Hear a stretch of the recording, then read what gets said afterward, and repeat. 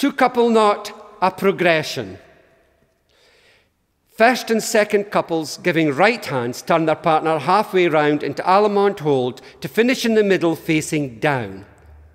On bar three, second couple followed by first couple curve round and dance up the woman's side, releasing right hands at the end of bar four. On bar five, the men continue to dance up the women's side as they pass their partners in front of them, the woman taking a long step towards the middle. All continue to turn with the left hand to their own side, having changed places.